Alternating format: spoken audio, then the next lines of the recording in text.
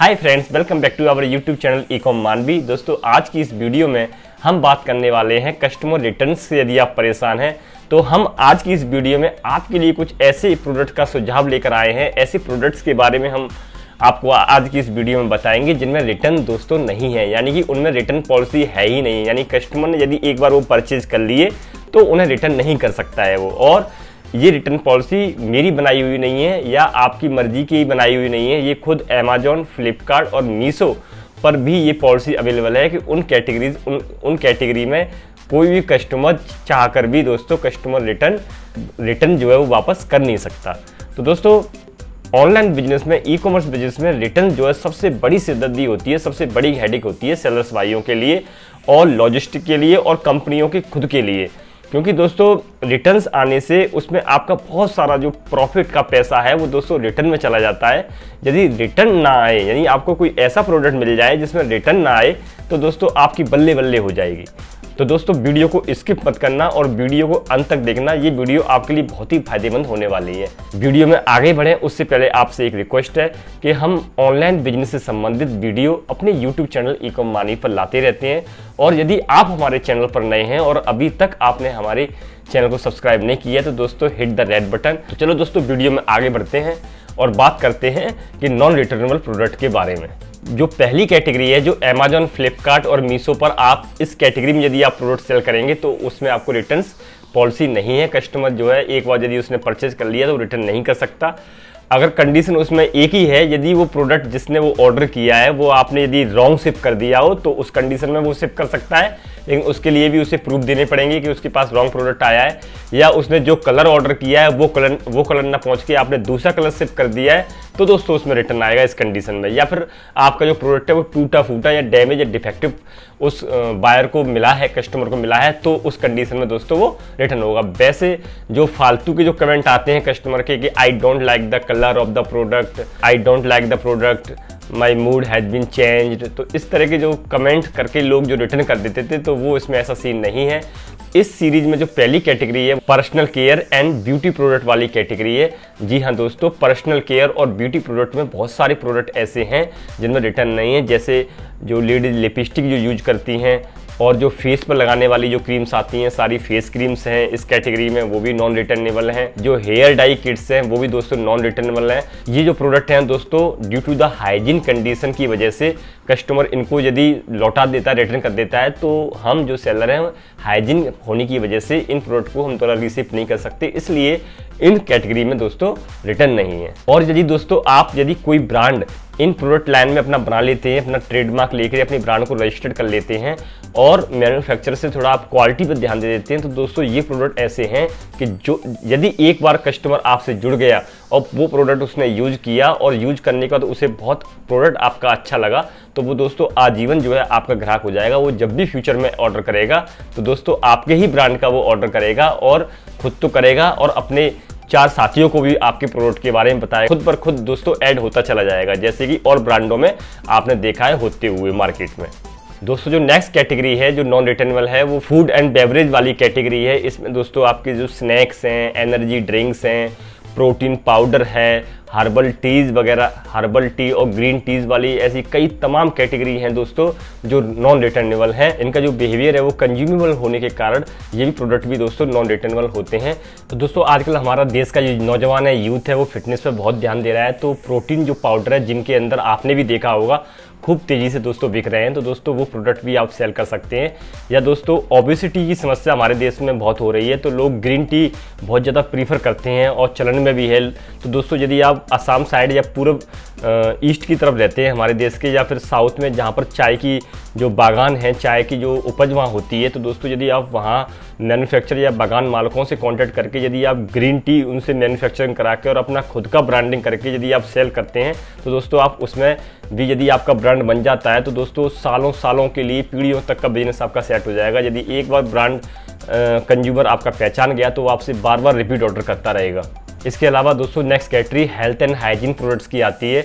Health and hygiene products यानी health से इस संबंधित जो इश्यूज़ होते हैं, चाहे वो महिलाओं की जो मैशनल पीरियड हो तो उसके लिए मैशनल कप आते हैं, जो कि जो सैनिटरी पैड है, उनको रिप्लेस करता है। ये जो मैशनल कप हैं इकोनॉमिकली भी काफ़ी अच्छा रहता है, जो सात आठ साल ये चलता है और ये रीयूजेबल होता है दोस्तों। एनवायरमेंटली भी दोस्तों ये काफ़ी हेल्पफुल है नेचर के लिए।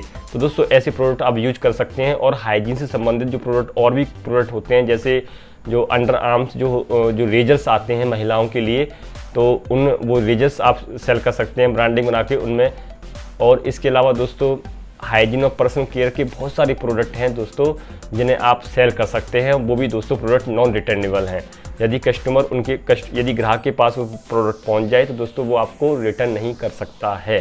तो दो तो इनमें दोस्तों आप अच्छा ब्रांड बना सकते हैं।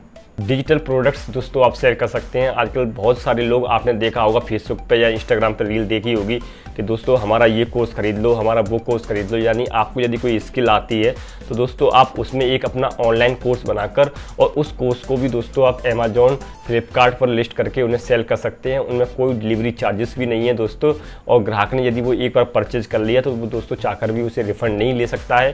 तो दोस्तों यदि आप ई बुक लिखने के शौकीन हैं, यदि आप राइटर हैं बुक लिख सकते हैं तो दोस्तों आप किसी भी टॉपिक पर ई बुक लिखकर ई बुक को भी दोस्तों अमेजोन के थ्रू आप सेल कर सकते हैं। तो दोस्तों, इन प्रोडक्ट में भी रिटर्न नहीं है।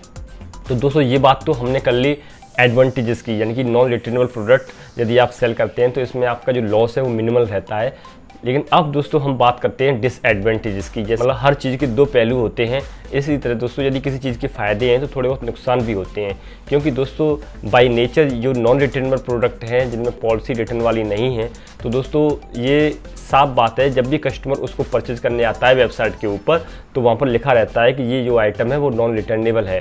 तो दोस्तों, जो कस्टमर है, वो उसकी हर एक डिटेल पढ़कर तब वो उस ऑर्डर को सावधानी से वो ऑर्डर करता है, वो देख लेता है कि मुझे जो चाहिए, क्या वो वही है।